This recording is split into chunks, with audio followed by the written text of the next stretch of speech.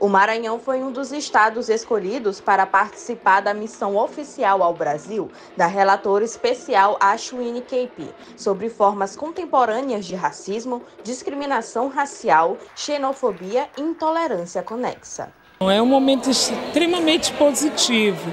Nós avaliamos como é, fortalece muito mais as ações que o governo do estado já desenvolve na perspectiva da promoção da igualdade racial e do combate ao racismo.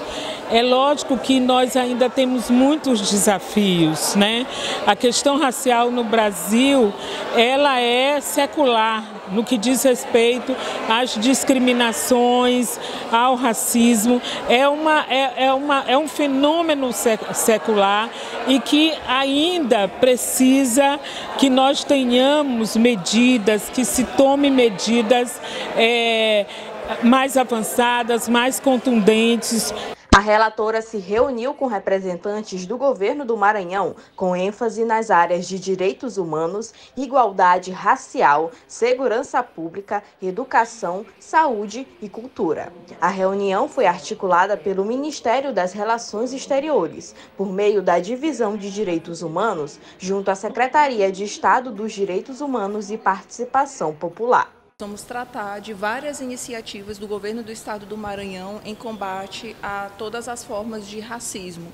Então, aqui nós mobilizamos vários órgãos do governo do estado, né? o governador Carlos Brandão participou ativamente dessa mobilização para que a gente pudesse apresentar para a relatora da ONU, né? que é uma mulher da, do país da Índia, é, apresentar todas essas iniciativas na área da educação, na área da saúde, na área do desenvolvimento social, na área da igualdade racial. E aqui nós vamos apresentar essas inúmeras atividades. O mandato da relatoria aborda a desigualdade contra afrodescendentes, árabes, muçulmanos e todos os outros segmentos mencionados na Convenção Internacional sobre a Eliminação de Todas as Formas de Discriminação Racial e na Declaração e Programa de Ação de Durban. Um momento desse, ele abre um leque de possibilidades e de ver de nos mostrar a importância que tem dessa discussão, o quanto ainda é necessário